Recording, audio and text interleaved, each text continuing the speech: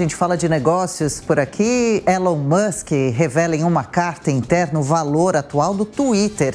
Bruno Meyer, chegando ao estúdio do Jornal da Manhã. Bem-vindo, boa semana, Bruno. E aí, a empresa vale mais ou menos de quando ele comprou? Olha, Adriana, bom dia em primeiro lugar para você. Bom dia a todos que nos acompanham aqui no Jornal da Manhã. A empresa vale hoje, de acordo com a estimativa do Elon Musk, 20 bilhões de dólares. É muito dinheiro, né? Mas é bem menos menos da metade, aliás, do que ele pagou no ano passado, quando ele colocou ali 44 bilhões de dólares no acordo, sem dúvida, mais controverso de, no, de negócios de 2022, que a gente acompanhou o ano inteiro no ano passado, cheio de idas e vindas, e até a justiça entrou nessa negociação. Esse valor dos 20 bilhões de dólares apareceu num documento interno aos funcionários que fazia referência à participação nos lucros dentro do grupo sediado em São Francisco, na Califórnia, nos Estados Unidos. A gente está falando de lucro, é coisa boa.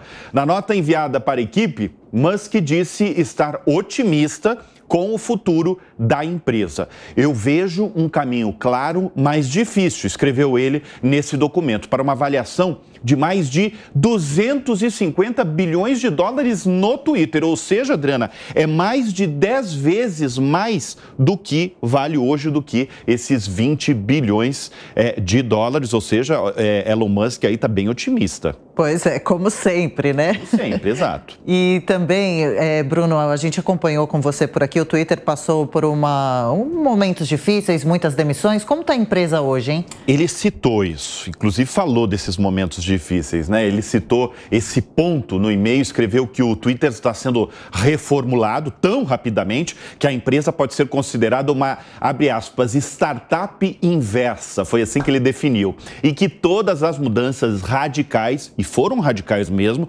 foram necessárias, em parte para garantir que o Twitter fosse à falência.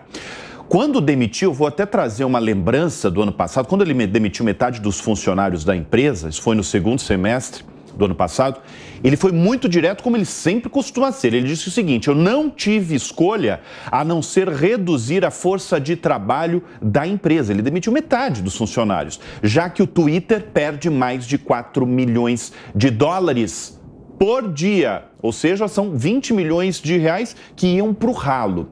Esse último e-mail que ele passou para os funcionários é uma injeção de ânimo. Ele fala inclusive de lucro para os funcionários, de distribuição de lucro.